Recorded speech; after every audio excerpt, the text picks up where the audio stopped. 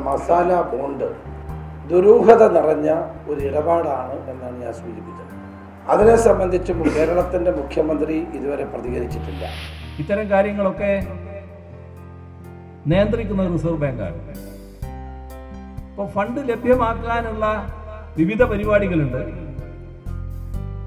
അതിലൊന്നാണ് മസാല ബോണ്ട്.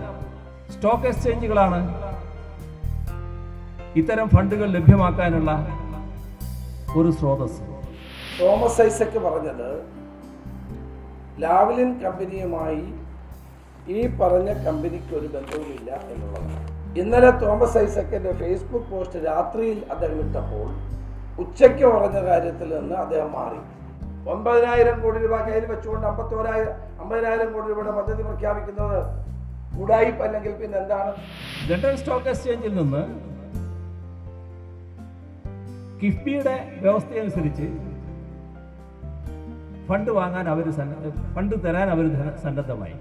എന്തിനാണ് ലാവലിൻ കമ്പനിയിൽ ഷെയറുള്ള സി ഡി പി ക്യുവിന് മസാല ബോണ്ട് കൊടുക്കാൻ കേരളത്തിന്റെ മുഖ്യമന്ത്രിയും ധനകാര്യമന്ത്രിയും ഇത്ര വലിയ ആവേശം കാണിക്കുന്നു?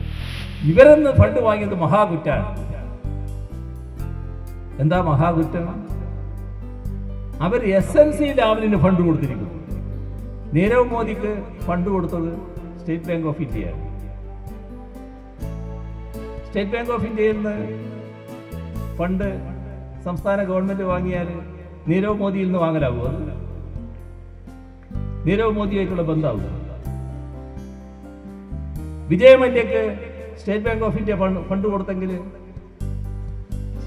സംസ്ഥാന ഗവൺമെന്റ് വിജയ മല്യമായി ബന്ധപ്പെടുന്നതിന് തുല്യമാകും സ്റ്റേറ്റ് ബാങ്ക് ഓഫ് ഇന്ത്യയിൽ നിന്ന് ഫണ്ട് വാങ്ങിയത് എന്തൊരു വിദണ്ഡ വാദമാണെന്ന് നോക്കണം. മസാല ബോണ്ടാണ് ഇപ്പോഴത്തെ താരം. പേര് സൂചിപ്പിക്കുന്ന പോലെ അത്ര സ്പൈസി ഒന്നുമല്ല ഈ കക്ഷി. പുതിയ ആളുമല്ല. രണ്ടായിരത്തി പതിമൂന്ന് മുതൽ തന്നെ ഇവിടെ രംഗത്തുണ്ട്. രണ്ടായിരത്തി പതിമൂന്നിൽ അന്ന് ഇന്ത്യൻ രൂപയുടെ മൂല്യം കാര്യമായി കുറഞ്ഞ സമയത്ത് കേന്ദ്ര സർക്കാരും റിസർവ് ബാങ്കും ചേർന്നാണ് ഈ ആശയം സജീവമാക്കുന്നത്. അതായത് ഇന്ത്യൻ രൂപയിൽ കടപ്പത്രം നിക്ഷേപം നടത്താൻ കഴിയും എന്നതാണ് പ്രധാനം. നമ്മുടെ അടിസ്ഥാന സൗകര്യ വികസനത്തിനായി കടപ്പത്രം വിദേശ വിപണിയിൽ പുറത്തിറക്കുമ്പോൾ അത് ഇന്ത്യൻ രൂപയിൽ തന്നെ അതിൽ നിക്ഷേപം നടത്താം എന്നതാണ്. അതായത് രൂപയുടെ വ്യതിയാനങ്ങൾക്കനുസരിച്ച് അതിലൊരു റിസ്ക് ഉണ്ടാകുമെങ്കിൽ പോലും ഇന്ത്യൻ രൂപയിലായിരിക്കും ഈ നിക്ഷേപം എന്നതാണ് അതിന്റെ ഏറ്റവും പ്രധാനപ്പെട്ട പ്രത്യേകത.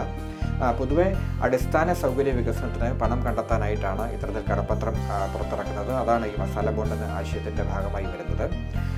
വിവിധ സംസ്ഥാനങ്ങളിലും ഒപ്പം തന്നെ വിവിധ ഏജൻസികളും സമാനമായി മസാല ബോണ്ടുകൾ പുറത്തിറക്കിയിട്ടുണ്ട്.